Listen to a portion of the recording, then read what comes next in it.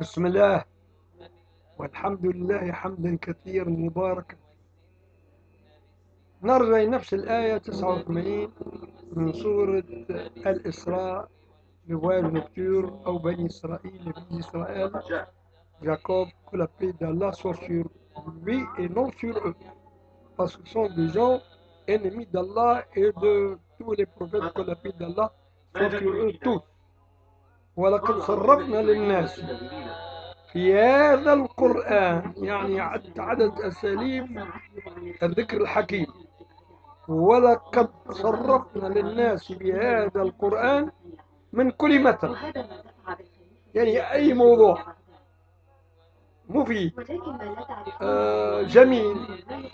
آه له قيمة عند العاقلين.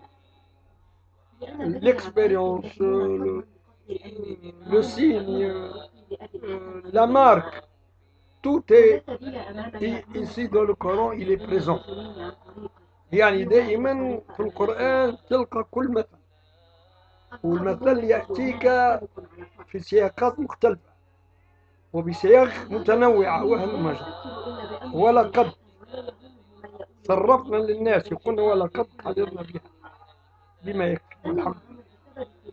ولقد صرفنا للناس بهذا القرآن. بهذا القرآن. بهذا القرآن. من كل مثل. والله يتكلم. لا يجوز شيء ربي.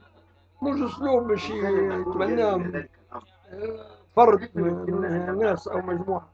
أو شيء من الأجيال. لا لا هذه المثل ربي يكرره بطرق مختلفة وكل شيء ميسور عند الله.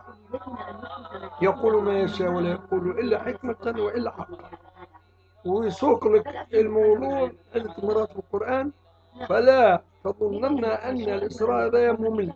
التكرار هذا إسراء بيعتبر معين يسر إليك بالقرآن. يعني مشكل الإنسان يوصل له روح روح من القرآن. عاد يقول آه كل مثل من كل مثل. وينه من الناس اللي حقيقة استفادوا بعد أن عقلوا الأساليب اللي كررت بها مواضيع قرآنية من كل مثل. tous les exemples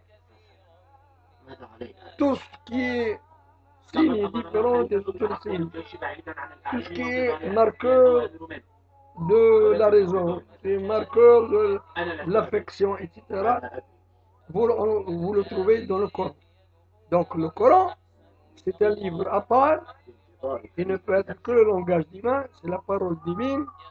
Donc, d'office, le Coran, il est diamétralement opposé à tout texte non قرآني.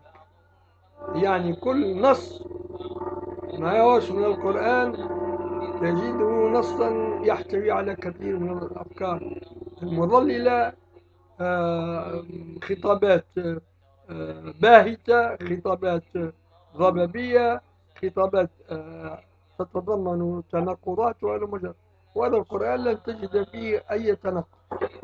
مستحيل. ودائما تلقى فيه الحجج التي لا تقاوم بل les arguments qui résistent à tout.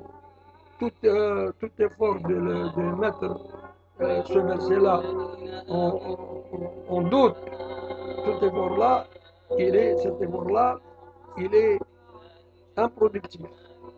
Il n'est jamais, il ne peut jamais être utile pour les gens qui cherchent dans le fin fond des, des paroles divines, c'est-à-dire le Coran. Parce que c'est lui seul, la seule écriture euh, sacrée qui n'a pas été lésée. وهي القرآن منع كلام الرحمن ولا يجوز إثارة موضوع مخلوق الخالق له كلام من أين أتيتم بالشتنة دي وفتنتم الناس وعذبتم الناس وظلمتم الناس بفكرة الله أعلم من دسها في عقول أتباع الحكام الظلام.